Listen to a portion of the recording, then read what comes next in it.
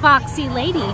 Her ID number is A5067141 and she is a female short-haired Chihuahua. We think she's about a year old and she came into the Downey shelter as a stray from here in Downey on May 16th and she weighs about 8 pounds.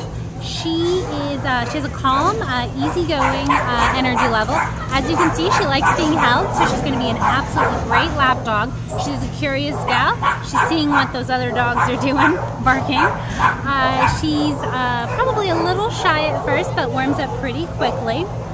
And she seems to get along well with other dogs. She's affectionate. She likes to be held, as you can see. Uh, loves attention. She has a low medium, uh, she has a low energy level.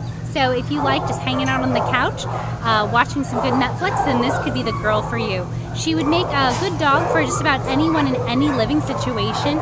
She'd even make a wonderful apartment or condo dog because of her small size, but be sure to check with your landlord first to make sure pets are allowed. She walks well on leash, and like we said, she's a little shy at first, but once she warms up, she'll be your absolute best, best friend. She'd make a great dog uh, for kids as long as they know to go uh, slow and gentle with her because she's on the small side, so we need to be gentle with her. So please come down to the Downey shelter and meet the very gorgeous Foxy Lady today. Bye, Foxy Lady.